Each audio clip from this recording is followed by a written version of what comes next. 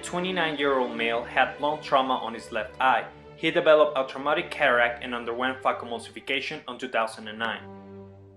After five years, he presented a giant retinal tear and retinal detachment.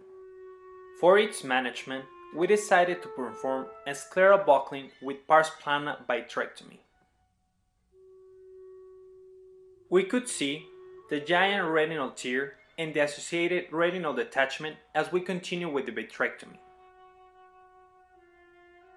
The perfluorocarbon heavy liquids slowly unrolled and flattened the retina as it filled the eye.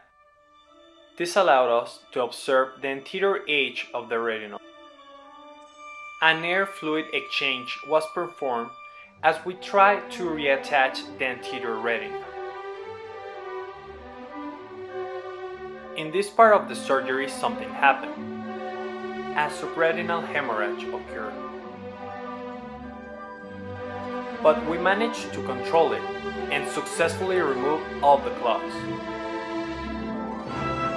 After this, we realized the presence of perfluorocarbon heavy liquids on the retina, so we drained them. Another air fluid exchange was performed and laser was delivered through an endoprobe. Finally, silicone oil was infused for a long-acting tamponade.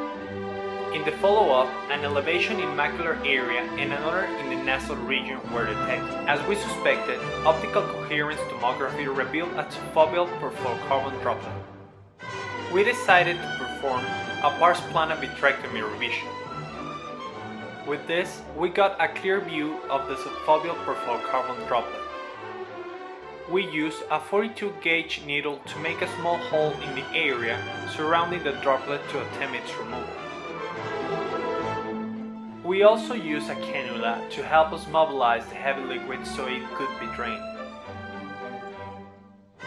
After several attempts, we achieved the mobilization of the perfluorocarbon droplet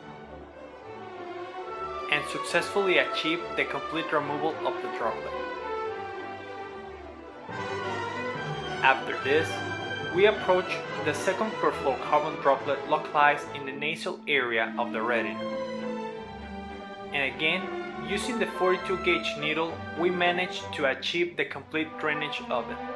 Finally, we used gas for temporary tamponade and complete macular attachment was achieved. In the postoperative exam, the final visual acuity of our patient was 2400. We performed an optical coherence tomography that showed the complete removal of the droplet, but instead the presence of a macular hole was detected, explaining the visual acuity.